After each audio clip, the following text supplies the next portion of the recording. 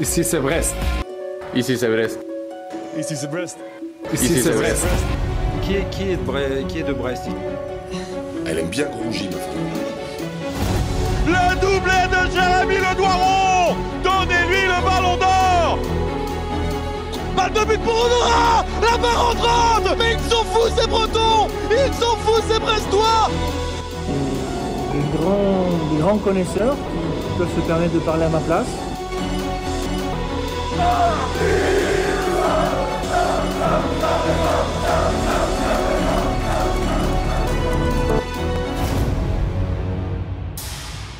C'est bon d'aimer le stade brestois Brestois, Brestoises, Die Meister, Die Besten, les grandes équipes, The Champions. Bienvenue pour ce 99e épisode Terre de Brestonner. Et euh, comme d'habitude, je suis rejoint par Fanche et Yann. Messieurs, comment allez-vous, Fanche? Même toi, tu n'arrives pas à être pessimiste? Eh oui, bonjour tout le monde. Bonjour tout le monde, effectivement. Là, je t'ai quand même dit à l'instant, on n'avait que 9 points d'avance sur Nice, fallait se méfier. Mais euh, effectivement, euh, ça commence à sentir bon et très très hâte de pouvoir enfin faire le centième épisode.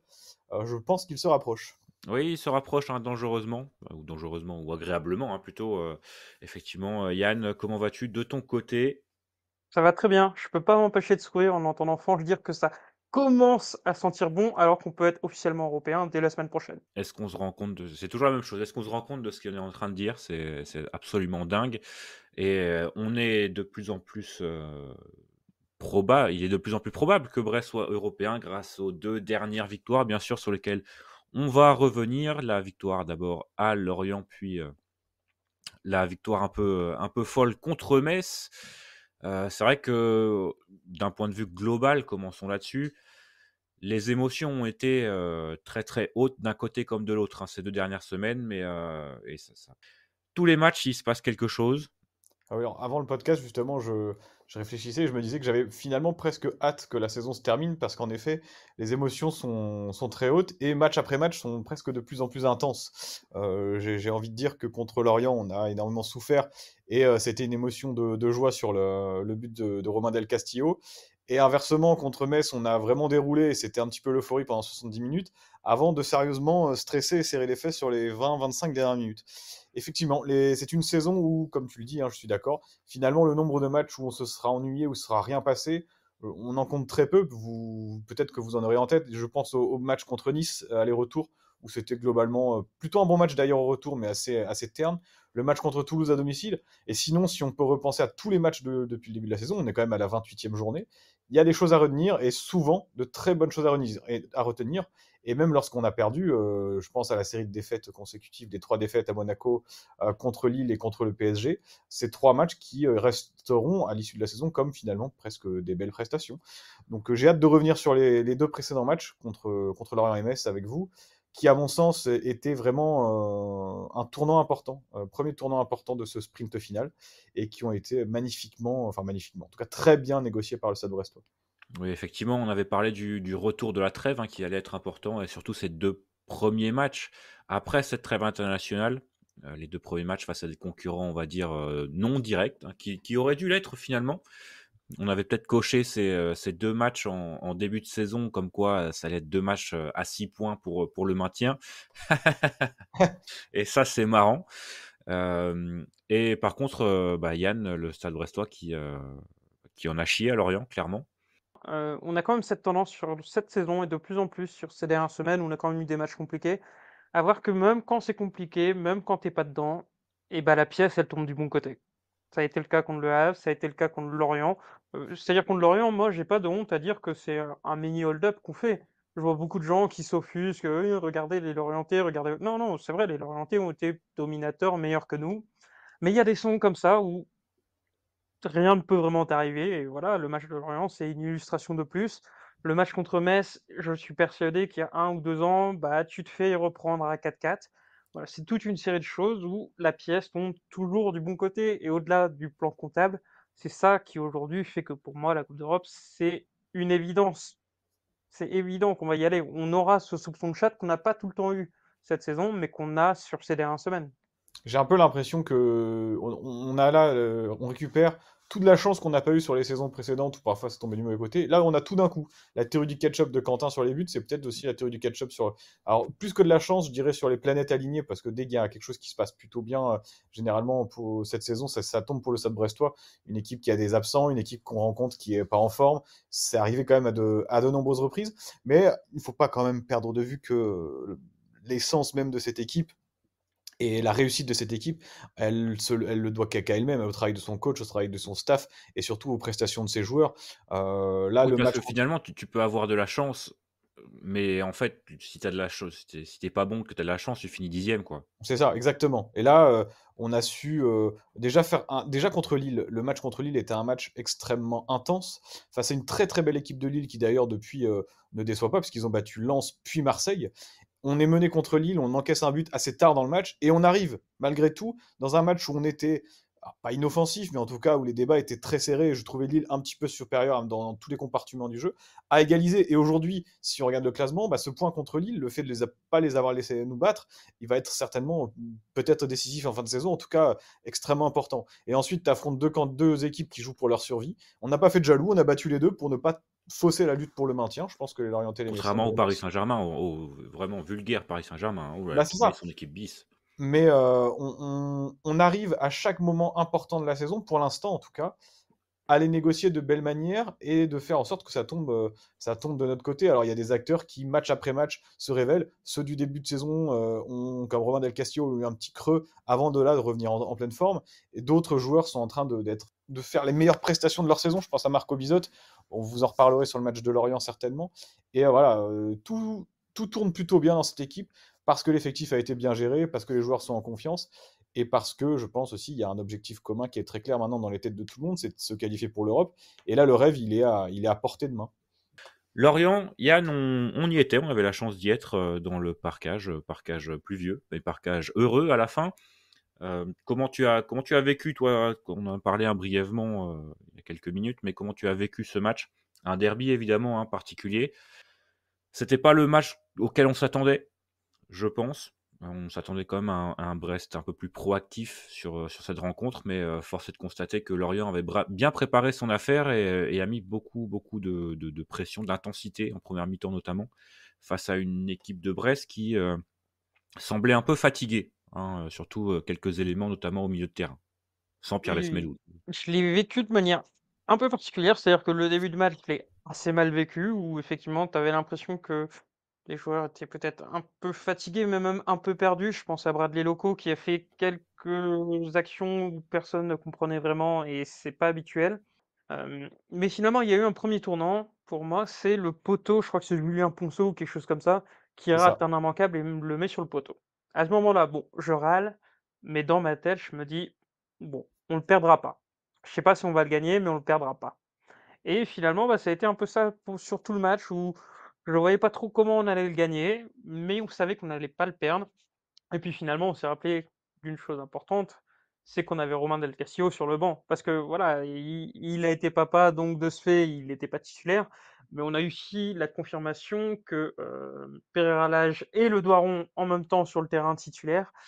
Mais voilà, très- je savais qu'on n'allait pas perdre. Très heureux qu'on gagne. Je pense qu'on ne le méritait pas forcément, mais on prend quand même.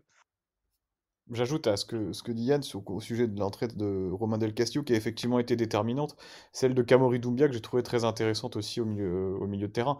Il a euh, vraiment apporté un petit peu son, son jus, sa pêche et son jeu vers l'avant, parce qu'on a, j'ai trouvé Magnetti et, et Camara plutôt empruntés, et d'ailleurs ça s'est revu quand ils sont entrés contre Metz, et l'entrée de, l'entrée de Doumbia m'a paru vraiment vraiment déterminante sur cette fin de match et c'est aussi au mettre crédit de l'entraîneur d'avoir fait ce, changement. Bon, après, il n'a pas inventé, euh, la poudre en faisant entrer ces deux joueurs qui sont des joueurs techniques et plus offensifs que les deux autres.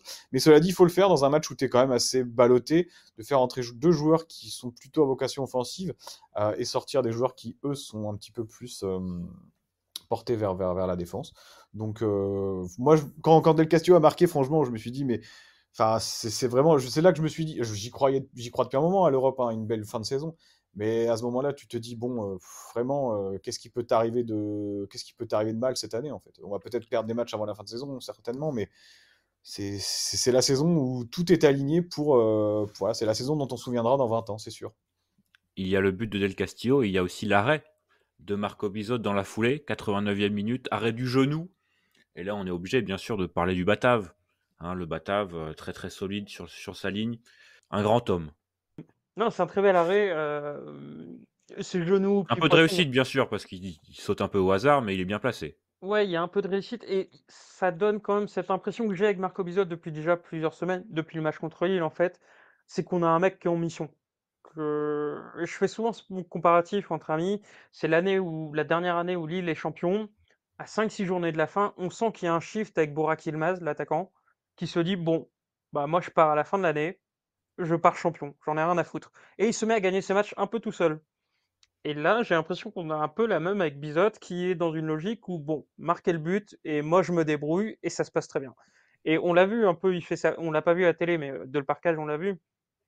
Il fait sa petite célébration avec son arrêt, et c'est vraiment le, signe du bras qui veut dire, allez, mission accomplie, à plus. Donc, Il fait le signe du capitaine un peu du bateau. Voilà. Il se retourne vers le parcage et il, salue le parcage. Et bah, évidemment, on devient fou, hein, naturellement. On crie, évidemment. on est content on a deux doigts de pleurer, bien sûr. C'est les larmes, qui, les larmes de bonheur hein, qui, qui coulent sur nos joues. Évidemment. Et euh, je, termine juste sur ce sur Bizot. J'ai souvent dit que sa meilleure saison, c'était la saison dernière, parce que c'est une saison où il avait été extrêmement sollicité. Et là, cette année, il montre ce que nous, on devinait déjà, mais il montre qu'il est fait de ce que sont faits les plus grands. Cette phrase est un peu incompréhensible, mais voilà. À savoir que il a qu'un arrêt à faire et il le fait elle est là la vraie différence avec euh, Mbogo, c'est un bon gardien de Ligue 1, mais sur ce match contre Brest, il a un arrêt à faire, il le fait pas. Bizot, si. moi, de mon côté, j'ai l'impression, Fanche, que quand tu vois une frappe adverse, tu es presque surpris maintenant qu'elle aille au fond. Tellement ah. Marco Bizot a l'air euh, omniscient, vraiment en, pleine possession de ses moyens. Et, ouais, voilà, même tu, tu le sens dans, dans, les vestiaires après le match. Tu, tu, tu sens qu'il est parfaitement intégré, que c'est un mec, euh, un mec, un mec super et que bah, bah c'est vraiment un, très, très très plaisant de l'avoir dans l'équipe. Quoi. Plusieurs choses. Avant le match contre Metz, on était meilleure, meilleure défense du championnat. Alors ça ne tient pas qu'à Marco Bizot, évidemment, puisque je pense que c'est l'ensemble du collectif. Et quand tu vois les efforts, par exemple, faits par un Martin Satriano devant pour, euh, pour défendre, pour se replacer, pour harceler, j'englobe tout le monde, mais effectivement, il est déterminant sur ses dernières sorties. Le match contre Lille est extraordinaire. Euh, également, on parle du match de Lorient, mais le match contre Lille, pour moi, le point, il lui revient assez largement. Le match contre Lorient, les trois points, on peut lui dire merci, parce qu'au-delà de l'arrêt euh, en toute fin de match, il y en a plusieurs. Euh, l'arrêt également en première période, d'une frappe sur un centre en retrait qui est un petit peu contré par Brennan Chardonnay qui sort du bout des bras. c'est assez incroyable. Et donc, euh, avant le match contre Metz, on était deuxième défense. Finalement, on reste toujours un euh, troisième défense du championnat avec 23 buts encaissés en 28 matchs. Ça change très sérieusement des années précédentes. Et même pour lui, lui qui est venu à Brest et qui a connu des saisons un peu compliquées, on, vous souvenez, il avait attendu des, mois et des mois avant de faire son premier clean sheet. Il est vraiment euh, dans la, il donne vraiment sa pleine mesure alors Yann a évoqué un départ cet été. Moi, j'espère pas. Je pense qu'effectivement, il va être très sollicité, mais j'espère pas à plus d'un titre parce que déjà, c'est un gardien de très grande qualité. Euh, c'est en plus un gardien qui a connu la Coupe d'Europe. Hein. Il a fait plusieurs matchs, euh, près d'une vingtaine de matchs en, Europe euh, aux Pays-Bas. Et au-delà de ça, c'est vraiment un, être humain qui a l'air extrêmement agréable. On voit qu'il a fait d'énormes progrès en français, qui fait absolument tout pour s'intégrer et que voilà, aujourd'hui, c'est clairement un Tizef. Marco Bizot, c'est pas du tout un quelqu'un à la marge du groupe pas un, gars qui vient faire ses matchs et qui repart. Voilà, il est vraiment totalement intégré. Et ça fait, ça fait extrêmement plaisir. Et je pense que cette meilleure communication, cette meilleure intégration joue également sur ses performances, sur son entente avec la défense. Et le fait de jouer avec Chardonnay et Brassier depuis maintenant euh, plusieurs mois, bah, ça fait euh, une belle osmose. Et je suis très très heureux pour, pour Bizot qui euh, s'est déraciné pour se mettre un petit peu en danger, venir à Brest dans, un, dans une ville où c'est quand même pas la plus belle ville de France avec la météo la plus agréable et ben finalement il, a, il, va, il va comprendre en, fin de saison qu'il a certainement fait euh, un très bon choix. Et puis comme disait Yann, quand les poteaux sont de ton côté, que ça sort, c'est des poteaux sortants et pas des poteaux rentrants comme ça pouvait l'être par les années passées. Je pense euh, notamment, euh, il y, a eu un but de, c'était l'année dernière de Fabien Ruiz, je crois, contre le PSG où ça fait barre rentrante ou poteau rentrant. Cette année, la frappe de Ponceau, elle sort, elle va sur le poteau et elle, elle, va en, elle va en touche ou en 6 mètres, je sais plus après. On a aussi cette baraka et bah écoute, on, va en profiter parce que c'est pas tous les ans la même chose et ça peut très vite tourner. Ceci étant, bref, c'est quand même l'une des équipes qui touche le plus les montants en Ligue 1. Aussi, c'est vrai. Donc euh, voilà, ça, s'équilibre aussi peut-être un peu sur une saison, euh, à l'instar des erreurs d'arbitral, bien sûr, comme dit la Maxime. On ne rendra Ah, pas les deux points perdus à Clermont. Non, voilà, on, on s'en souvient. On s'en souvient. Cela dit, le match d'après contre l'OM, bref, tu as raison. C'est vrai, j'ai raison. Euh, un petit mot sur euh, peut-être Eric Roy qui avait euh, peut-être un peu raté son coup en première période et qui s'est bien, qui, qui a bien changé euh, ce qu'il fallait changer en, deuxième, euh, qui a montré son pragmatisme, on va dire. On avait vu une équipe de Brest un peu en, grande difficulté dans le jeu, hein, surtout avec des les, hum, positions. Alors je crois que c'était Ponceau et euh, effectivement. Et on voyait en fait du stade le, le- Jonas Martin, Magnetti, Camara beaucoup beaucoup se parler, même avec euh, avec. Euh, et là là sur les côtés, ça se parlait beaucoup beaucoup parce qu'ils avaient beaucoup de mal à, savoir le, lequel des joueurs devait aller sur euh, les mecs parce que les, mecs en face se trouvaient euh, avec une aisance assez inquiétante même un côté d'un point de vue brestois. Et j'ai trouvé l'intelligence de Roy qui a arrêté peut-être un peu de faire du pressing et, un peu boucher les lignes pour empêcher justement ce- la liberté de, de- de ces joueurs-là. Un roi pragmatique. Ouais, ça, ça a plutôt bien marché et euh, je pense que la, la victoire aussi euh, de jouer un peu plus en, en contre contre Lorient en deuxième période, lui, lui revient un peu. Je pense que voilà, il, il a fait des bonnes choses et euh, bah, l'opportunité justement de, de, de faire la transition avec le match contre Metz puisqu'il a changé beaucoup de choses. Osé, on va dire, même, même s'il il s'appuyait sur une logique hein, des performances actuelles des joueurs qui, euh, qui, qui ont démarré sur le banc contre Metz. Hein, beaucoup de changements, euh, Magnetti, Camara, on en a parlé, le Doiron Pérélage aussi, et finalement mettre, euh, mettre un joueur comme Satriano qui joue d'habitude en, pointe sur un côté, c'est quand même un message euh, assez clair passé à, à ses ailiers. Oui, message clair et qui, à mon sens, est assez légitime.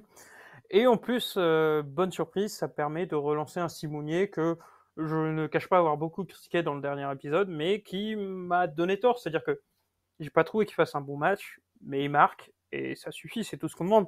Ça, c'est un peu le point positif de ces dernières semaines, c'est que nos attaquants se remettent à marquer, que ce soit Satriano ou Mounier. Donc, euh, moi, j'étais très content du 11 de départ aligné par euh, Roy, un peu moins par ses choix en cours de match, mais pour le coup, j'avais rien à dire. Très heureux et je serais même assez content de revoir le même 11 sur les prochaines sorties en fait. Est-ce que vous avez un petit peu eu peur euh, après l'ouverture du score Messine qui arrive très tôt? Parce que est-ce que vous avez eu peur vous de votre côté? J'ai pas senti moi du tout et d'ailleurs ça s'est vérifié sur le terrain que l'équipe elle euh, s'était mise à douter euh, après l'ouverture du score. Ça montre aussi la, force de caractère et la confiance en eux que, les joueurs euh, qu'ont les joueurs en fait. Ouais, clairement, on est sur une équipe qui, sait ce qu'elle fait, hein, qui maîtrise totalement le, le- la rencontre, alors en tout cas la rencontre jusqu'à la 70e minute. Mais bah, après, on a vu quand même que Metz était très limité. Euh, effectivement, ça tient, ça réussit 10 minutes. Et puis ensuite, on a senti même une équipe de Metz en grande difficulté qui, avait beaucoup de mal à sortir de, sa moitié de terrain. Et là-dessus, le, mérite revient aux, joueurs de Brest hein, qui, ont, clairement mis les ingrédients aussi pour se remettre le match un peu facile parce qu'il aurait dû être facile. Metz sortait quand même d'un match où ils avaient pris 5 buts à domicile par Monaco. Il y a une certaine logique à leur mettre 4 buts. De fa- C'était quand même assez facile hein, quand on regarde les, statistiques, même euh, qu'elles soient avancées ou pas d'ailleurs. Mais le nombre de tirs, le nombre d'attaques, le nombre de, de- d'expected goals, il est, J'ai vu, je, te permets, je me permets de te couper, j'ai vu des supporters messins dire, euh, commenter le score en disant attention à, ceux, à leurs supporters qui n'avaient pas vu le match, ne faites pas attention au score, ça reflète pas du tout le match qu'on a vu. On a fait 15 bonnes minutes à la fin, mais si on perd 6-1 ou 5-1, il n'y a rien à dire non plus. Là, je suis d'accord avec toi. Le- le- on pourra peut-être revenir sur le dernier quart d'heure parce qu'il y a des choses à dire, mais les 65, Oui, 60 voilà, c'est ça, on peut, on peut pas euh, renier les 70 premières minutes. Elles sont très Ouais, bonnes. Et même si le niveau de Metz, effectivement, euh, est certainement celui d'une équipe qui a plutôt le niveau de la Ligue 2 et va probablement descendre euh, en fin de saison, il faut le faire le match. Il faut le faire. Et euh, c'est pas facile quand tu es Brest, que tu as désormais le statut de favori, que tu dois assumer ton statut, de d'encaisser le but et à la mi-temps de rentrer avec deux buts d'avance. Tout en ayant plus. en- S'il y a eu la frappe de Mikotadze avec son rush euh, à un partout. Mais sinon, Metz n'a rien eu du tout jusqu'au deuxième but euh, qu'il marque à la 75e. Brest a vraiment joué le rôle de rouleau compresseur. Et c'est si le FC Metz est revenu dans le match, c'est entièrement la faute du Stade Brestois, c'est pas le FC Metz. D'ailleurs, Quentin, tu me disais pendant le match, à part si on leur offre des buts, euh, on craint rien, et c'est finalement ce qu'on a fait, avec des erreurs d'inattention, en arrêtant de faire du pressing, avec des changements qui. Yann, tu disais que tu n'étais pas d'accord avec le changement de roi. Euh, après coup, je peux comprendre, mais sur le, coup, pendant le match, quand il y a 4-1 et que tu fais entrer Magnetti, Camara et que tu fais sortir des joueurs qui ont énormément donné, ça me semblait pas non plus particulièrement déconnant. Quoi. Oui, surtout que je suis transparent. Moi, je disais à mon voisin, bah, s'il y a bien un match où tu peux voir rentrer à ma vie, bah, c'est peut-être celui-là. Tu lui files 100 minutes. Mais je disais ça à 4-1. Donc oui, oui, il y a eu ce péché un peu d'orgueil de ma part, et je pense des joueurs aussi, peut-être pas de l'entraîneur, mais à 4-1, tout le monde pensait que c'était plié assez logiquement. Parce que moi, j'ai entendu personne me dire 4-4, euh, ça serait un résultat logique. Non, bien sûr que non. Et je trouve que, moi, pour revenir sur les changements d'Eric Roy, je trouve qu'il a une gestion d'effectifs extrêmement intelligente. Il va laisser, euh, il va laisser Mounier un petit peu plus longtemps que Satriano, parce que Satriano était titulaire la fois d'avant. Il va quand même permettre à Satriano et Mounier de jouer en même temps. Et c'est, euh, c'est, je trouve qu'il dans la gestion humaine, et après même dans ses propos d'après-match où il s'est montré euh, très lucide sur la performance d'ensemble en disant que ça restait une très belle journée, que le match avait été très intéressant, mais qu'il y avait des choses qu'il ne voulait plus voir, devait plus de, des choses qui ne devaient plus se reproduire, et que dès euh, mardi, il allait remettre certaines pendules à l'heure. Alors, on pourrait se dire, il exagère, il est extrêmement euh, exigeant, Brest est deuxième, c'est rien. Moi, je pense que cette fin de match, va servir de leçon à l'effectif et on le saura très rapidement parce qu'il y a des grosses, des grosses performances euh, qui, qu'on, attend de leur part et des grosses équipes qui arrivent. Mais je pense que ça peut servir de leçon euh, à une équipe pour faire comprendre que même si à 4-1, le Stade Brestois ne peut pas se permettre de lâcher quoi que ce soit. On n'est pas le PSG, on n'est pas le LOSC, on, est, on reste Brest. Et si tu n'es pas à 100%, voire à 110% comme on est depuis le début de saison, tu vas au-delà de, grosses déconvenues. Et euh, je pense que là, à ce niveau-là, que ce soit Eric Roy, Grégory Lorenzi évidemment, ou même certains joueurs cadres, j'ai entendu, et vous, l'avez entendu aussi, Jonas Martin s'exprimer après le match, je pense qu'on peut dormir sur nos deux oreilles, ils sauront se, faire leur autocritique. Oui, de toute façon, euh, je pense pas que l'équipe a eu besoin d'attendre ce mardi pour, euh, pour se remettre la, la tête euh, à l'endroit dès la fin de match, vu la gueule d'enterrement qu'ils avaient après la rencontre, vu la joie qui était quand même c'était, c'était une joie. Tu surprenant. avais l'impression d'avoir gagné un point contre, contre Monaco et tu étais 16e. Quoi. C'était, c'était un peu, un peu une joie poussive. Quoi. Quelqu'un qui arrive au stade juste à la fin, qui rentre dans le stade et qui arrive sur la, célébration de fin de match, ne peut pas se dire Brest a gagné le match. J'imagine déjà. Bah oui, évidemment, c'est, c'est bien, mais et ça montre aussi que l'équipe a de l'ambition, quoi, ne veut pas se satisfaire uniquement d'une victoire 4-3 contre, contre Metz. Et euh, effectivement, c'est comme important de, bah, aussi de respecter l'adversaire. Hein, de, chacune des, des 17 adversaires sont capables, à un moment donné, si jamais tu baisses le pied, de, mettre dans la mouise. On, voit, on a même vu Clermont à Paris, hein, par exemple. Tu vois, donc. Euh, c'est quand même important de, respecter le football et c'est ce qu'a dit Eric Roy. Et jusque-là, on l'a fait pendant, pendant 27 journées et 75 minutes. Ce serait dommage et c'est quand même mieux que ça arrive contre Metz à 4-1 plutôt que contre Monaco à 1-0 ou à 2-0. Quoi. c'est vrai que la, punition sera un peu plus, un peu plus sévère. Je, suis d'accord avec toi. Moi, ça ce qui m'a un petit peu embêté quand même, parce qu'il faut le dire, hein, ça, et ça peut arriver de passer à côté du, d'une partie de match comme ça a été le cas, c'est que vraiment c'est arrivé après les changements. Et j'ai pas trop aimé certaines attitudes, alors c'est je pense extrêmement ponctuel, et euh, eux-mêmes vont certainement euh, ça, sont, vont faire leur autocritique, mais regardez par exemple la course défensive de Madi Camara sur le... c'est le deuxième but je pense. La course défensive elle est, euh, elle est quand même relativement légère par rapport à ce qu'on pourrait attendre de lui, surtout qu'il vient d'entrer. Euh, après l'entrée de Jérémy Ledoiron et Martin, euh, de Martin, de hum, Pereira Lage, pareil, me laisse vraiment sur ma faim. Je me dis, euh, c'est pas des entrées qui sont au niveau de ce que l'équipe a produit cette année. Et je pense que c'est la première fois, ce que je vous disais hier, c'est la première fois que cette saison, je suis agacé par des attitudes. autant il y a des matchs qu'on a perdus, et les cinq matchs qu'on a perdus cette année, finalement, ils sont tous, c'est tous des bons matchs. C'est tous des matchs, en tout cas, extrêmement cohérents. Même le match à Marseille, c'était bien. L'enchaînement de trois défaites, c'était plutôt des bons matchs où on méritait mieux. Et le match à Lens, tout le monde a été d'accord pour dire que la deuxième mi-temps était assez excellente. Là, je ne vais pas dire que j'aurais aimé un 4-4 pour qu'il s'en morde les doigts, parce que clairement, c'est pas du tout l'idée. Mais j'ai vraiment été extrêmement déçu de certaines attitudes, et j'espère qu'on verra des choses changer très rapidement, euh, et dès le match de Lyon dimanche. Mais je reste assez confiant en fait sur le fait que ça se reproduira pas et moi, je préfère me concentrer sur, vous avez dit, les 70 premières minutes, mais en fait, c'est bien. première mi-temps que j'ai trouvé exceptionnelle. Certes, face à un très mauvais adversaire, mais on peut gagner ce match 6-1. On a des occasions de marquer ou qui déjà fait Disons, des disons très beaux arrêts. 6-2. 6-2, disons. Oui, voilà. Enfin, on on n'a pas marqué 4 buts sur 4 occasions, mais s'ils ont marqué 3 buts sur 2 occasions et demie. Je rebondis sur ce que dit Yann. euh, la première mi-temps, effectivement, est assez exceptionnelle. J'ai énormément aimé les, les- le- la- les combinaisons et le jeu de passes, en fait, fait de, de passes, de contrôle, des choses assez simples. Euh, éloge de la simplicité, finalement. Après, c'est vrai que quand tu mets. euh, bah, tu as fait quand même, euh, finalement, au milieu de terrain, 5 joueurs de foot techniquement au-dessus de la moyenne, on va dire. Ce qui, en soi, en termes de, de stade brestois, c'est quand même euh, presque du pas loin d'être du jamais vu. Peut-être avec Furlan, on, avait, on a eu euh, du, beau joueur aussi au milieu de terrain, mais c'était quand même en Ligue 2. Donc c'est a pri- a priori un peu plus facile d'être au-dessus de la moyenne. Là, je sais pas trop si, euh, d'un point de vue purement technique, hein, mais si Del Castillo, Doumbia, Satriano, Jonas Martin, Pierre Lesmelou, on a fait mieux en tant que supporter du Stade Brestois. Euh, alors après, c'est vrai que certains euh, iront un peu plus loin dans les archives. Nous, on ne peut pas malheureusement.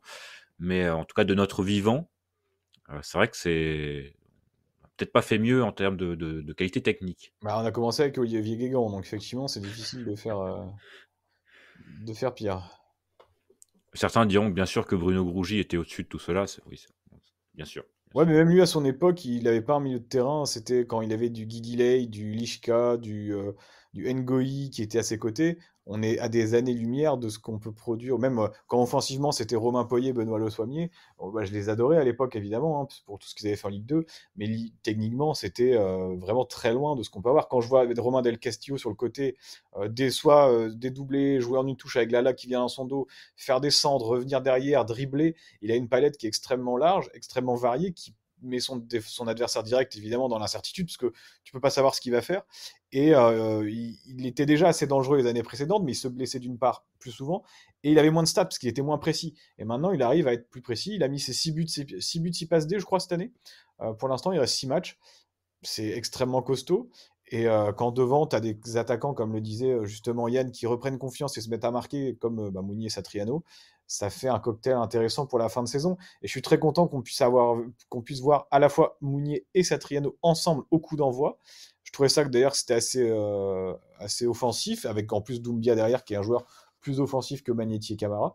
Et face à Metz, c'était, je vous avais dit moi que j'aurais bien aimé la même compo contre, que contre l'Orient, et ben c'était euh, pas exactement la même, mais en tout cas dans l'esprit ça l'était. Et on a encore marqué 4 buts. En tout cas, c'était l'adversaire idéal pour, euh, pour, faire cette, cette- cette- pour faire cette compo. Oui. Mais euh, oui, effectivement, c'est c'est à la fois des, des- Donc les cinq du milieu sont à la fois des bons joueurs techniques, mais aussi c'est des joueurs intelligents tous. Donc effectivement, ça rend les choses plus faciles. On vrai, beaucoup ça. de joueurs techniques qui sont complètement cons. Là, pour le coup, il n'y en a aucun. Parce que tu as des joueurs techniques, tu des joueurs techniques qui jouent pour eux. Je pense, je sais pas, je vais prendre des exemples, Adamounas, des mecs comme ça qui sont euh, techniquement euh, certainement au-dessus de la moyenne, mais niveau QI foot, c'est bah, c'est proche de zéro. Là, tu as des joueurs techniques et en plus qui s'entendent bien sur le terrain. Alors j'imagine qu'en dehors, ça doit aussi plutôt bien s'entendre. Mais forcément, la, la mayonnaise, elle ne peut que prendre avec autant de joueurs qui sont intelligents, des joueurs assez humbles aussi. Quand tu vois un Doumbia, quand tu vois un, un Del Castillo qui aime pas trop se mettre en valeur non plus, un Satriano qui est un joueur extrêmement combatif, qui est un joueur de Ouais, collectif. qui, qui, tu vois, il s'est pas plaint de jouer sur le côté, alors c'est un joueur de pointe. Donc euh, Bien sûr. ça montre aussi l'état d'esprit dans lequel ces mecs sont. Et tu as des joueurs qui réclament plus de temps de jeu comme Jonas Martin, et quand on leur donne, bah, leurs performances sont, sont bonnes. Euh, il, il aimerait jouer plus, il veut jouer plus, on lui donne sa chance, et il fait deux très bons matchs. Et je suis vraiment déçu qu'il soit suspendu à Lyon, parce que je l'aurais remis titulaire, moi. Un peu moyen. J'ai trouvé un peu moyen à Lorient, mais euh, c'est vrai que quand on Il n'avait prend pas un la- rôle facile de remplacer Ouais, quand on prend la place aussi de Lesmelou, c'est compliqué et je le préfère effectivement un peu plus haut. Je J'ai beaucoup aimé dans sa de- relation technique avec, euh, avec Lesmelou, justement, dans son jeu de passe. C'était vraiment extrêmement fluide. extré- C'était simple, mais c'était toujours bien fait. C'était toujours dans le tempo. Il est pareil, il y a un tacle en première mi-temps euh, côté, euh, côté Arkea qui est rageur, euh, première ou deuxième mi-temps, je sais plus, qui est un tacle rageur euh, côté Arkea où on voit toute la détermination du mec. Le gars, il a 34 ans, il pourrait se dire qu'il finit sa carrière. Bon, Brest, il n'est pas toujours titulaire, mais non, il se bat comme un, chien de la casse. Et c'est avec ce genre de mentalité que l'équipe arrivera à décrocher ce qu'elle mérite en fin de saison, je pense. Et va arriver. Ceci étant, euh, quand on met les, choses en perspective, on va dire que sur les 270 dernières minutes, combien il y en a de bonnes? Y, en a, y en a 70, je dirais? les 70 contre Metz, on peut pas dire que le match contre. Alors, il n'était pas mauvais, mais on peut pas dire que le match contre Lille était vraiment bon de la part du, Stade Brestois. On peut pas dire non plus que le match contre Lorient était bon. Et j'ai envie de vous demander si euh, vous n'avez pas un peu hâte que la saison se termine, à la fois côté émotion, on en a parlé tout à l'heure, mais aussi parce que vous sentez quand même peut-être une équipe du Stade Brestois un peu sur les rotules. Euh, avec de moins en moins de, possibilités, on va dire. Non. Voilà. Bah, il n'y a pas de souci, mais euh, en, fait, c'est vrai que quand on a, de, mon côté, en tout cas, pour, euh, pour répondre à ma propre question, quand on a vu les, prestations, on va dire, depuis, depuis septembre, je, si on enlève les résultats, je sens quand même une baisse de, de, de, de qualité dans les prestations depuis trois matchs. Là, c'était un peu particulier, c'était Metz. Hein, euh, évidemment, c'est super pour se remettre dans, dans, le, dans, le, rythme, justement. Ça va peut-être relancer un peu. Mais euh, c'est vrai que les, les, autant les résultats sont plutôt bons, hein, et, le Stade Brestois continue d'engranger des points. Mais j'ai trouvé les, les, les, prestations un peu, euh, un peu en dedans par rapport à ce qu'on avait eu l'habitude de voir. Bah moi, je suis pas d'accord. plusieurs éléments. Le premier, c'est que le match contre Lille, c'est un bon match. Certes, c'est face à une équipe qui est meilleure que toi, mais c'est un bon match. Et la première mi-temps contre Metz, je le répète, c'est une des meilleures qu'on ait produit cette saison. Certes, ils étaient nuls en face, mais il faut la faire, cette mi-temps-là. Et par contre, là où je peux entendre, c'est que certains joueurs individuellement paraissent sur les rotules. Je pense notamment à Madi Camara. Mais globalement, c'est cohérent, c'est consistant, même si les équipes commencent à s'adapter à nous, à mettre des plans anti, je sais pas, anti-Lesmelou, anti-Brest, vraiment à s'adapter, ça reste ultra cohérent. Et le seul match où vraiment, pour le coup, tu le subis de A à Z, c'est Lorient, tu l'as gagné. Non, moi je suis pas d'accord, je sens pas une équipe sur les rotules, juste une équipe qui doit faire face à une adversité peut-être mieux préparée et qu'il y a quelques joueurs qui sont dans le creux, mais ça a été le cas toute la saison. On a eu un moment où Del Casio a un peu disparu, on a eu un moment où Les Melou avec quelques matchs sans. Voilà, moi je suis pas, je sens pas cette équipe sur les rotules et je pense qu'elle va finir la saison euh, assez tranquillement en fait, sur un rythme de croisière et euh, qui sera conforme à ce qu'on a vu. Euh, c'est tout bête, hein, mais le match de Lens, il remonte pas si longtemps que ça, et c'était une première mi-temps moyenne, mais une deuxième très bonne mi-temps. Non, je, mi -temps, suis pas d'accord. Euh, pas loin d'être catastrophique quand même. Moi, je vais aller dans le sens de Yann. sur les 17 derniers matchs de Ligue 1, on a perdu un seul. Alors, effectivement, les prestations ne sont pas toujours Joga Bonito et. les prestations sont forcément un peu moyennes parfois et encore. Et encore parce qu'on a, l'effectif qu'on a. Quand tu dois faire entrer des joueurs qui, comme Adrien Lebeau, comme Julien Cardinal, qui joue très peu, qui connaissent assez peu la Ligue 1, bah, tu n'as pas une profondeur de banc qui est extraordinaire. Mais si je regarde les derniers matchs, mis à part les 15 dernières minutes contre Metz, on leur roule dessus complètement. Donc avec vraiment une supériorité technique, physique, euh, dans tous les domaines. Le match à Lorient, tu tiens, même si le match est difficile, ça fait aussi partie de ces matchs qui sont importants de gagner. Et si t'es pas bien, à mon avis, ce match-là, tu le gagnes pas. Le match contre Lille, certes, on fait un match moyen, je dirais, dans le contenu, avec assez peu d'occasions, avec assez peu de fluidité dans le jeu. Mais si on regarde bien les résultats lillois, ils battent tout le monde depuis. Ils battent tout le monde depuis. Ils ont battu Lille, ils ont battu l'OM. Ils avaient été gagnés à Reims. Ils avaient fait un 2-2 contre Rennes juste avant. Finalement, il y a quasiment que Brest qui leur a posé autant de soucis. Euh, les Lensois ont été dithyrambiques sur la prestation brestoise. Et encore avant, si on remonte un petit peu, on avait été battre Marseille 1-0 en étant à 10 contre 11. Donc si l'équipe est au bout du rouleau en ce moment, euh, bah, c'est plutôt pas mal, parce que quand même les résultats restent bons. Après, je vois ce que tu veux dire, Quentin, sur euh, bah, les Tu trouves que c'est peut-être un petit peu moins flamboyant qu'à la période avant Noël, où on avait battu Nantes, Montpellier, Clermont, Lorient en mettant à chaque fois 3 ou 4 buts Ouais, ou c'est juste... Les adversaires sont pas les mêmes non plus. Tu as joué la Lens, tu as joué Lens, tu as joué Marseille, tu as joué Lille récemment, et tu as été à Lorient dans un derby, le contexte est toujours différent. Et Metz, qui est une équipe faible, tu arrives à les écraser pendant 70 minutes. Oui, mais après, moi, j'entends que vous soyez pas d'accord. Euh, et j'ouvrais un peu le, le, débat parce que effectivement, moi, je trouve quand même qu'il y a, y, a y a moins de, On va dire depuis le, match contre Strasbourg, où là, effectivement, c'était la roue libre. Hein, effectivement, euh, équipe de Strasbourg euh, aux abonnés absents et une équipe de, de, de, Brest qui était, euh, bah, tout simplement monstrueuse ce, soir-là.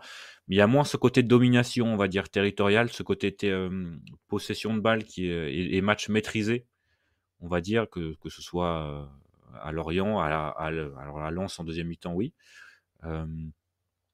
Ou, contre Lille, il y a moins ce côté domination, on va dire, où on sent que, que milieu de terrain est, est, largement au-dessus de son vis-à-vis, que, que défensivement, tu es, quand même ultra costaud. contre l'Orient, tu as quand même subi pas mal et subi quelques occasions.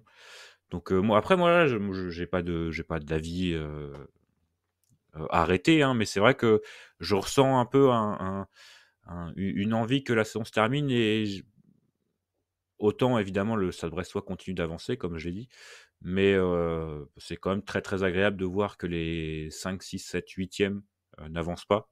Hein. comme ça, ça, bon, ça, laisse un petit, un petit coussin de sécurité et bah, ça, permet aussi aux joueurs de, de, mieux appréhender, on va dire, cette fin de saison, peut-être avec un peu moins de, pression par rapport à, à quelle. Alors, l'Europe, oui, mais quelle Coupe d'Europe Là, effectivement, ça se dessine assez, euh, assez clairement entre les, les, les, huit premiers. Et euh, je l'avais mentionné, moi, peut-être à, à, la mi-janvier, mais euh, comment les joueurs allaient, allaient, réagir une fois que, effectivement, le, l'Europe allait être du concret, quoi. Comment, comment ça est-ce que. Ça va être... Enfin, il faudra qu'on voit les matchs pour le voir, mais pour l'instant, je trouve qu'il le gère. La pression est plutôt bien gérée. Ouais, et ça, bah, justement, les, les, les, résultats des adversaires permet aussi euh, d'avoir un peu moins de pression à ce niveau-là.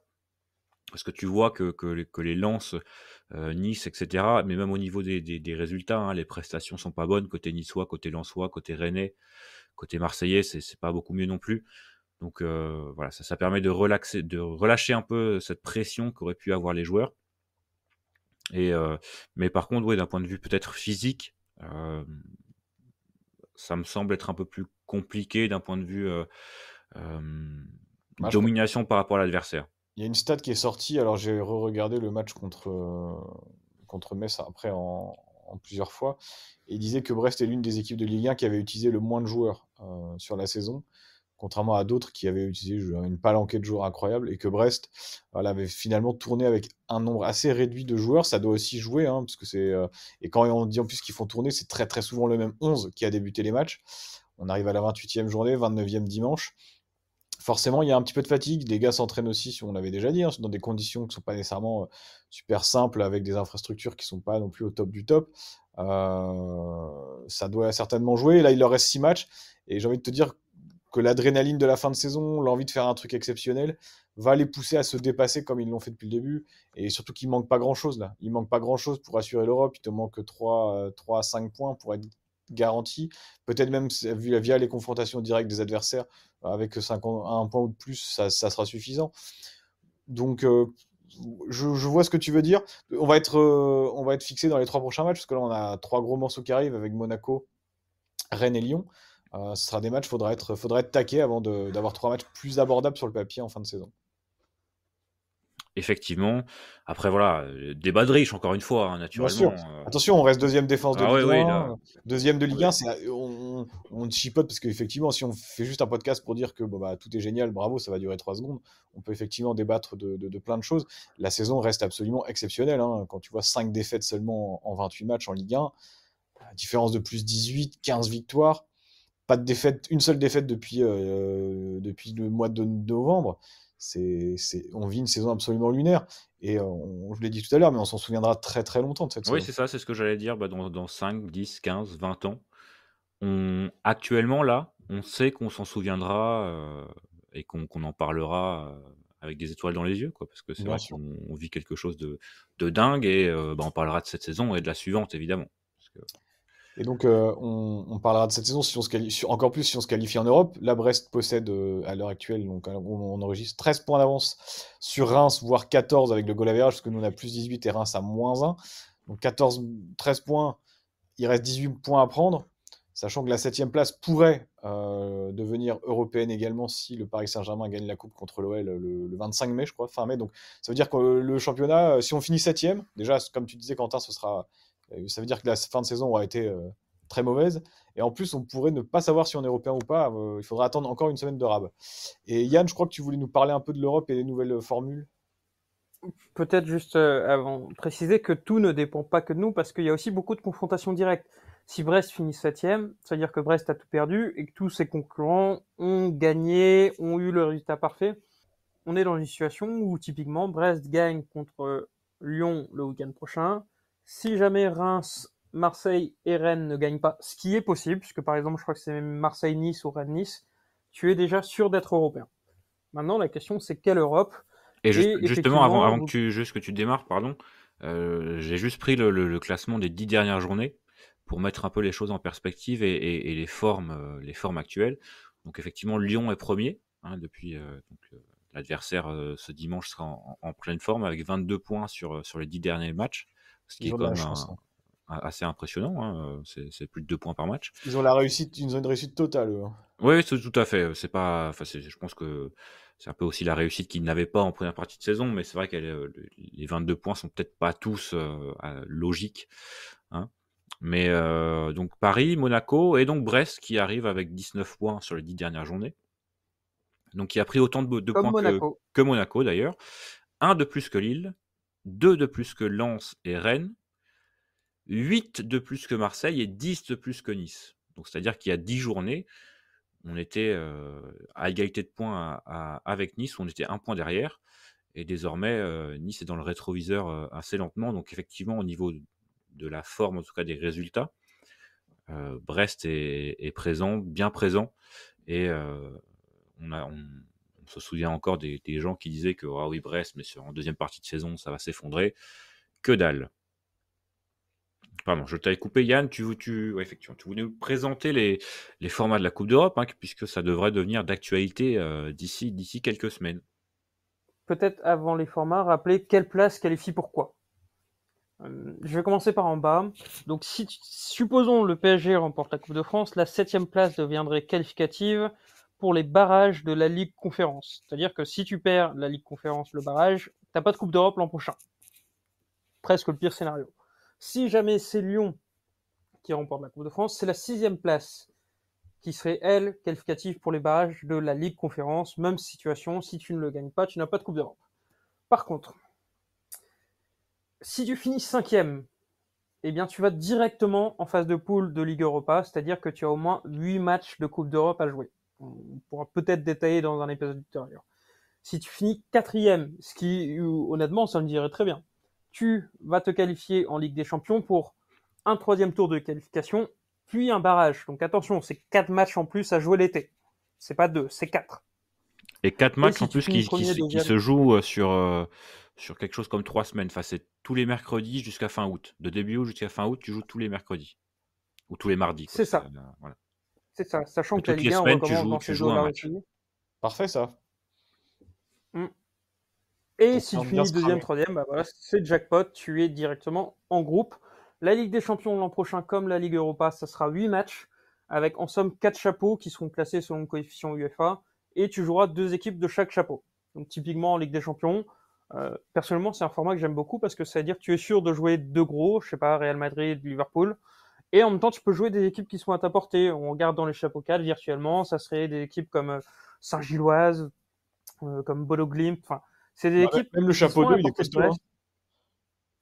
Ouais, ouais, bien sûr. Le chapeau 2 peut t'offrir du Arsenal, du Juventus, du. Après, c'est marrant, c'est des, matchs des matchs un peu de jeux vidéo. Hein. On a tous joué Brest, contre Arsenal euh, en se disant, bon, de toute façon, ça arrivera jamais dans la, dans la vraie vie. Et là, tu te retrouves à te dire, euh, bah, fait, qu'est-ce que ça donnerait Brest contre Arsenal, quoi. Bah, je sais pas si vous avez regardé la Ligue des Champions hier soir. Moi, je me suis mis à la place de Brest l'année prochaine. Je me suis dit, bon, euh, il va falloir. Euh, mais en fait, en fait un petit peu quand même. Moi, j'ai beaucoup de mal à me projeter. En fait, même, tu vois, rien que si on joue l'Union Saint-Gilloise, qu'est-ce que ça donnerait Brest contre l'Union Saint-Gilloise? On a vu Toulouse cette année Ouais, je, j'ai absolument aucune idée de me dire comment. Euh, je pense qu'il y a aussi la notion Coupe d'Europe qui fait que les joueurs vont naturellement hausser leur niveau de jeu, comme quand ils le font comme contre des équipes de très haut niveau.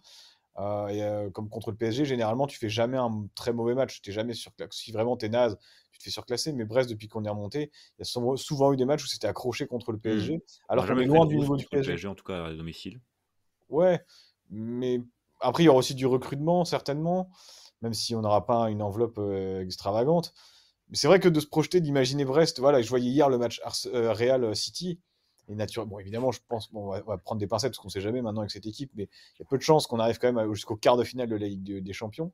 c'était un autre sport, quoi. C'était, le but de Foden. Bon, euh, j'aimerais bien voir le même de Del Castillo l'année prochaine à Bernabeu, hein, mais. euh, qui a battu Arsenal, enfin. en- Ouais, voilà, mais tu vois, Lens, ils battent Arsenal et pourtant ils font pas une saison extraordinaire. Donc tu as ce petit plus, ce supplément d'âme ce jour-là. Tu as le public qui est chaud, tu as la soirée européenne, chose qu'on ne connaît pas, nous, qui euh, doit certainement transcender ton équipe. Même Toulouse, hein, Toulouse, ils ont fait 0-0 contre Benfica à domicile. Euh, ils ont battu Liverpool. Toulouse a battu Liverpool à domicile cette année. C'était ok, c'était pas l'équipe titulaire de Liverpool, mais quand même.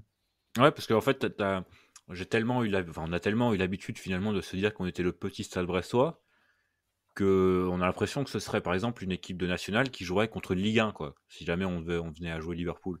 Et oui. Donc on serait le, le petit poussé, mais ouais, j'ai beaucoup de mal à me projeter moi sur, euh, sur un Brest-Liverpool, qu'est-ce que ça donnerait, quoi? C'est vrai que bah, l'été prochain, l'enchaînement match amical contre Plabennec, euh, puis trois jours plus tard, euh, match à Anfield, va falloir être, euh, va falloir être costaud. Ah ouais, va falloir. euh, C'est les mêmes couleurs, Plabennec et Liverpool, tu me diras. hein. Je précise d'un élément, j'ai pas eu le temps de le préciser. Si jamais tu perds le barrage euh, ou le tour de qualif de des Champions quand tu es quatrième, tu es directement reversé en Europa League. Donc à partir de là, il est un peu là le débat. C'est vous préférez finir où? Typiquement, je pense que tout le monde préférerait finir deuxième ou troisième, mais la question c'est est-ce que tu préfères finir cinquième et avoir un été tranquille et arriver en Ligue Europa, ou finir quatrième, te taper une équipe comme Milan en barrage de Ligue des Champions, et du coup commencer un mois avant tout le monde pour finir en phase de poule de Ligue Europa. Bah, je, je pense que. Dé- Déjà, déjà, réfléchissons à cette question. Dis- Disons-nous, à quel moment on a réfléchi à se poser cette question? Est-ce qu'on est se rend compte de, de la question qu'on est en train de se poser là? Ah bah Que- non, que- je Quelle pense- place entre la deuxième et la sixième place vous préférez terminer? Non, mais la question de Yann est, est vraiment intéressante parce que finalement, euh, déjà, question de barrage. Euh, avant d'accéder au barrage de la Ligue des Champions, je crois que la musique, moi j'aimerais entendre la musique de la Ligue des Champions une fois, ce serait vraiment incroyable. Je crois que la musique, tu l'as que au barrage, mais tu l'as pas au tour préliminaire. Si je dis pas de bêtises, parce que de mémoire, Nice avait joué les barrages une année, ils avaient Après- joué contre Naples. Après, bon courage pour l'entendre dans les, dans les de Francis Leblé. Oui, mais j'ai Greg Pello qui va debout, debout, debout, debout pendant le, pendant le, voilà. Mais même, tu vois, je- je- on l'entendrait quand même. Mais en barrage, on peut jouer qui? Ce serait des, des équipes comme Marseille a pu jouer cette année, le Palan. Alors, tu peux donc, je, je suis sur la page là, donc tu jouerais le. Alors, tu aurais aussi des têtes de série, têtes de série. Donc, euh, alors, très probablement, vu les adversaires que tu vas, que tu peux affronter, on imagine que Brest ne serait quand même pas tête de série, hein, avec son 13,066 de coefficient UEFA. Faut être sérieux, vous rigolez ou quoi? Donc, tu pourrais affronter donc le troisième du championnat des, des Pays-Bas.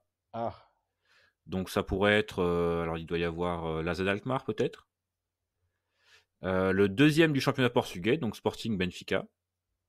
Hein, si je me trompe pas. euh, Benfica là. Le deuxième du championnat belge, donc ça devrait être Anderlecht ou l'Union Saint-Gilloise. Et le deuxi- ou le deuxième du championnat écossais, donc euh, Rangers Celtic, naturellement. Et ensuite, euh, des, qualifiés entre euh, le deuxième du championnat autrichien, donc Red Bull Salzbourg, Sturm Graz, deuxième du championnat serbe, donc Étoile Rouge de Belgrade, Partizan, deuxième du championnat turc, donc on imagine Fenerbahçe et Galatasaray, à moins que Fenerbahçe euh, quitte le, championnat comme ils ont l'idée. Le deuxième du championnat suisse, ça doit être Servette Genève là actuellement, ou Young Boys. Le deuxième du championnat ukrainien, et ou le deuxième du championnat tchèque, donc Slavia Sparta Prague. Il y, a- il y a toujours un championnat en Ukraine là actuellement? Ouais, tout à fait, D'accord. tout à fait, tout à fait. Putain, les mecs, ils ont. Ils ont la foi. Ah bah, visiblement. hein. Et, et donc potentiellement, c'est des équipes qui sont meilleures que toi. Enfin, je veux dire, si tu vas jouer un, je sais pas, un PSV ou un Benfica, bon, compliqué. Ouais. Sachant que après, Après, ça, voilà, si, tu perds, tu es en, en Europa League. Donc, Ouais, euh, c'est ça, finalement, il y a le, le voilà. seul, le seul euh, côté négatif de là, ce serait pas la défaite, ce serait plutôt de d'avoir dû se préparer euh, pour ces matchs début août et pas faire baser ta préparation sur une saison qui sera, quoi qu'il arrive, extrêmement longue, parce que tu rajoutes 8 matchs au minimum.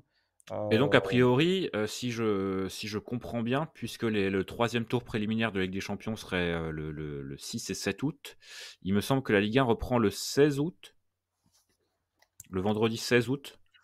Donc, tu aurais deux matchs. Oui. Donc, le, le- le- tes deux matchs, ton match aller-retour de la troisième, euh, du troisième tour préliminaire serait avant le début de la Ligue 1.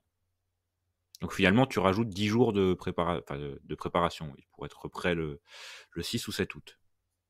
Finalement, tu peux enlever un match amical et puis. euh, Et rajoutons un éventuel trophée des champions. Si on finit deuxième et que Paris gagne. Et que Paris gagne la coupe. Oui, mais si tu finis deuxième, tu commences pas dix jours avant. Alors, sauf nouvelle, le trophée des champions devrait se jouer le 10 ou 11 août, a priori. Et on sait le lieu? On connaît le lieu? Le lieu n'est pas titre- encore connu. Ça serait très Stavristog, le premier titre officiel, soit le trophée des champions ou la Ligue des champions. hein.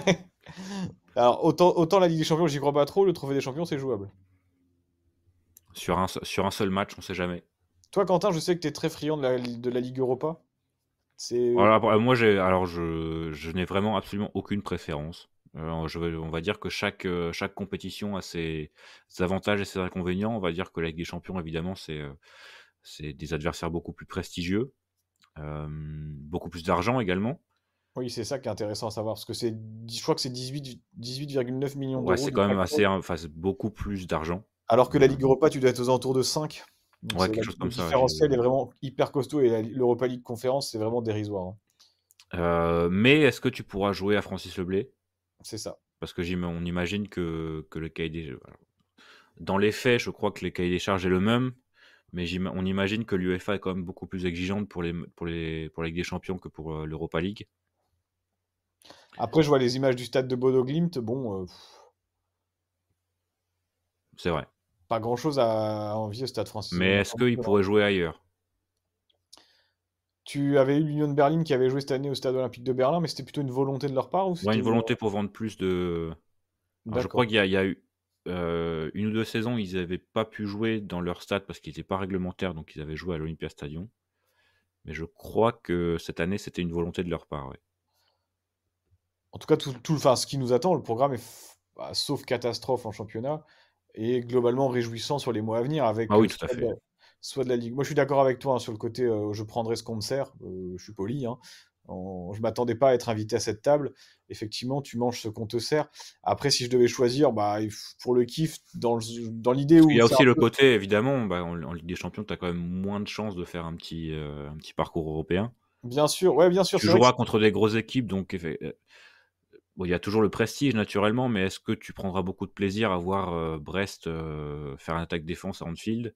Ah, mais comme disait Yann, comme disait Yann le, le format te, te fait affronter, quoi qu'il arrive, des adversaires qui seront, si, ils seront probablement supérieurs à toi, mais pas non plus. Tu vas pas jouer. euh, y a- là, cette année, tu tombes dans un groupe qui te fait City, Bayern.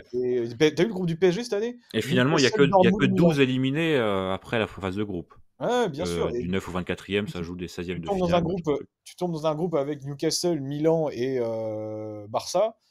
Bon, et t'as, t'as six matchs, tu vois certainement pas le jour. Là, t'as huit matchs, t'as au moins, au moins deux, trois matchs où tu peux rivaliser. T'as moyen de te t'en sortir en étant, euh, je sais pas, entre là, euh, 20, 20e et, enfin, 23e et 15e place.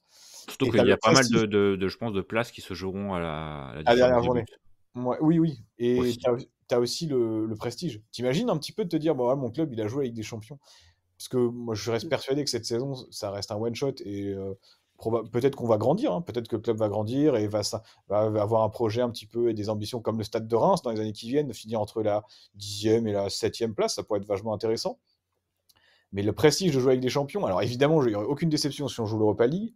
Une pointe de déception si on joue la Ligue Conférence vu le classement actuel. Honnêtement, je ne vous cache pas que si on finissait sixième, je ne serais pas déçu, mais je dirais, bon, bah, c'était une super saison, mais on est passé à côté d'un truc. Ah, si on pouvait jouer avec des champions. Mais c'est vrai que la- le seul truc, c'est qu'il faut que ce soit à Leblé. Si c'est pour jouer avec des champions, mais à Nantes ou à Rennes, bon, moi, ça m'intéresse pas beaucoup. Et on, veut, on veut entendre Greg Pello annoncer les changements du Real Madrid, Kylian Mbappé qui remplace, euh, qui remplace euh, Rodrigo, Vinicius. Et moi, je, je vais même être très audacieux, surtout qu'on n'a pas le mercato ni rien, mais l'Europa League, non seulement tu peux t'éclater en jouant des bons noms et tout, mais en plus, tu pars pas éliminé d'avance. hein. Comme Quentin Non, non, l'Europa League, bah, euh, justement, c'est l'un 24 des avantages. En fait, tu as, plus de chances finalement de faire un, un parcours assez intéressant. Par contre, euh, quitte à être deuxième ou troisième, autant finir deuxième, hein, puisque c'est le, le résultat elle-même, la, la finalité elle-même, mais tu as un peu plus de sous, je pense, si tu finis deuxième que troisième. Et, un sou est un sou. Et tu es le premier club breton à finir deuxième en Ligue 1 de l'histoire de la Eh oui. Ligue 1. Est-ce que vous pensez qu'on pourra nous repro- Enfin, si jamais on se qualifie en Ligue des Champions en finissant deuxième ou troisième, on va continuer à nous dire ouais, vous avez aucun palmarès, votre, euh, enfin nous rapager ça, parce que c'est. Est-ce que vous préférez vous qualifier pour la Ligue des Champions ou gagner une Coupe de France, par exemple, en étant Brest Ouh, ça c'est dur. C'est dur, hein. Ça c'est dur. Je pense que moi, La je préfère la qualif en Ligue des Champions parce que effectivement, ça donne pas un titre, mais tu as quand même une saison où sur 34 matchs, tu vibres un peu comme une épopée en Coupe de France où tu bats. Et en Coupe de France, hein, Toulouse, ils l'ont gagné l'année dernière, ils ont fêté super, ils ont battu Annecy, ils ont battu euh, Logmaria Plouzané, ils ont battu, ils ont battu Nantes en finale. Ils ont finalement battu à peu près personne. Et là, tu, cette année, tu te qualifies en Ligue des Champions, et puis tu as, la récompense derrière. Quoi. Alors, la Coupe de France, tu as la récompense en jouant la, la Ligue Europa, c'est vrai. Mais la Ligue des Champions, c'est autre chose. Moi, je trouve que ce serait au moins aussi fort. Vraiment difficile de répondre à cette question. Pour le coup, euh, pourquoi pas les deux? Ça a plus de valeur. C'est. Il y a- et je vous rappelle qu'il y a un an et demi, on était avec Belaïli qui faisait caca dans sa, dans sa, dans sa baignoire. hein. C'est vrai. C'est vrai, mais oui, vous vous rendez bah, on, se- parcouru on se rend compte hein, de, de- de ce qu'on est en train de faire. euh, et on se rendra compte euh, surtout en août. Un Stade Brest. Ah, encore L'enchaînement un bel épisode. hein. France, Jeux- L'enchaînement Euro, Tour de France, Jeux Olympiques, Ligue des Champions pour le Stade Ah oui, voilà, Faut- eh, les appuis, faudra qu'ils soient solides. hein. Ah ouais, là, là, là, l'été va être absolument euh, rocambolesque. Bon, déjà, euh, comme on- bah, je le dis régulièrement, mais euh, totalement fou de faire ces débats-là, hein, naturellement. Mais ensuite, on va, on va se quitter pour l'instant. Il y a quand même des chances Euh. pour que euh, le prochain épisode, euh, Brest soit européen. On le souhaite. Et euh, bah, d'ici là, on va quand même se souhaiter euh, plein de bonnes choses, naturellement. Et, Déjà, euh, un bon bah, match et- à Lyon. un bon match à Lyon, un bon- bon match contre Monaco, hein, parce que ça sera un match finalement très très important pour. euh, Est-ce que vous allez à Toulouse? Est-ce que vous envisagez un déplacement à Toulouse à la dernière journée? Absolument. Absolument. je, je ne pourrais, je ne 18 pourrais- mai. je ne pourrais être des vôtres, hélas. Après, euh, reste à réussir à poser un petit jour, mais, euh, mais tout à fait, c'est tout à fait dans les, dans les projets actuels. Ça pourrait être, je pense, euh, l'une des plus grosses ambiances à l'extérieur de l'histoire du club. Absolument. Et surtout aussi loin, en fait, c'est surtout ça qui est. Aussi loin, et puis je pense que si tu vas à Toulouse et normalement à la dernière journée, tu sais que déjà que tu es qualifié. Sauf. euh, Oui, sauf là, il vraiment là, franchement, il faudra une catastrophe. euh. Euh, ça veut dire que tu y vas en étant. voilà, tu peux juste y aller. Tu y vas en, slip, tu y vas et- en slip, et étant donné qu'il fera 35 degrés, bah, ce sera plutôt un attirail, Léger. Effectivement, à tout nu dans la Garonne, hein, naturellement, en- après le match. Mais en plus, c'est sympa, Toulouse, belle ambiance, beau stade, euh, ville sympa, euh, mi-mai, c'est quand même pas dégueulasse, hein, Toulouse, on imagine. Et euh, bah, ça, ça fait un petit, euh, un petit road trip très très sympa, quoi. En plus, c'est long week-end. Pas grand chose à acheter de, de- de tout ce que je viens de te dire. D'ici là, Si là. ben, on va, on va, on va se dire euh, bonne semaine, bon match à Lyon. Donc dimanche 20h45 en prime time. Parce que, Je, je vous rappelle juste pour conclure que, que lorsqu'on a débuté le podcast, on a pensé à faire un podcast parce qu'on était agacé de ce qui se passait au club aussi euh, au tout début. Puis après, on a, on a réfléchi. Puis on a surfé sur la montée en Ligue 1 pour le faire. Mais à la base, je me souviens qu'on avait parlé après une défaite à Sochaux assez honteuse. Si on avait su que six ans plus tard, on serait en train d'évoquer euh, si on avait, si on préférait la Ligue des Champions à la Ligue Europa. ouais, c'est fou. Franchement, fou, vis quand même vivement la saison prochaine qu'il y ait des choses un peu plus, plus négatives parce que là, ça, ça devient un peu, un peu répétitif. hein. C'est vrai que depuis le début de saison, on n'a rien à, mettre, à se mettre sous la dent niveau négativité. Vivement que ça revienne et qu'on retrouve notre vrai stade brestois quand même. hein. La, la sono quand même. La sono, c'est dramatique. Ouais, la sono, c'est c'est indigne. Et puis les tourniquets, toujours pas de tourniquets, on en a marre. On veut des tourniquets. Messieurs, merci. À la prochaine. Et bien sûr, allez Brest. Allez, Brest, Canavo.